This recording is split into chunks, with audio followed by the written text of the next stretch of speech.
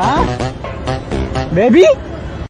मेरे बाबू ने थाना नहीं थाया तू नहीं थाया दो मैं भी दिखाऊँगा। मेरे बाबू थाना थाओ दे तुम। प्लीज़ मेरे बाबू का हाथ डालना प्लीज़ प्लीज़ मेरे बाबू थाना डालो अरे भैया सर के हमारे लिए एकदम बिल्ला वाला एकदम लल्लन टॉप वाला फ़ोन दिखाओ यार एकदम चमक जाना चाहिए। पूरे दुकान में सबसे महँगा जो मोबाइल रहेगा वही दिखाना। हाँ। मिल जाएगा भैया? दिखाओ।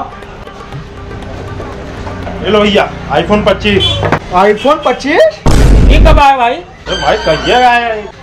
ट्वेल्व सुने थे। आ गया भाई। ओकरे बाद में थर्टीन और फोर्टीन आया। सर कुछ नहीं आ गया। ये देखो ये कौन सा है? ये ट्वेल्व है। ये कौन सा है? थर्टीन है। दोनों मिला दिया क्या हो गया? अरे पच्चीस। बराबर भैया पच्चीस पच्चीस। बराबर पच्चीस हो गया ना अभी। दो दो मोबाइल है भाई। अरे दोनों मिला के हो रहा है ना भैया पच्चीस। अब तुम हमको दिखाओगे मैं मोबाइल दो हमको अच्छे से। दाम दाम बताओ भैया। ढाई लाख रुपए का। बाबा भैया कान फाड़ दो का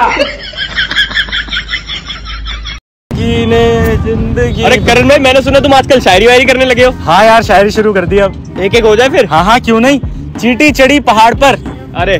चीटी चढ़ी पहाड़ पर। क्या बात है। चीटी चढ़ी पहाड़ पर। वाह। चीटी चढ़ी पहाड़ पर। भाई कब चढ़ेगी? वो पहाड़ थोड़ा बड़ा है ना थोड़ा टाइम लगेगा। चीटी चढ़ी पहाड़ पर। आहा चीटी चढ़ी पहाड़ पर। भाई जब चढ़ जाए ना तो बुला लेना।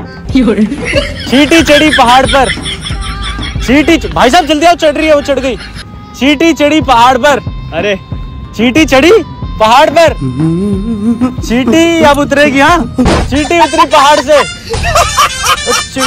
भाई चढ़े। नहीं दोस्त मुझे मत समझा यार मुझे मत समझा।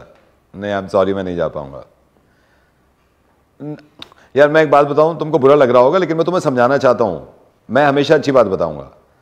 दोस्ती से बहुत ज़्यादा है फैमिली वाइफ बच्चे, इनके साथ जाया करो घूमने। आई नो मैंने बनाया था प्रोग्राम अब कैंसिल कर रहा हूँ और हमेशा अच्छी बात बताऊँगा।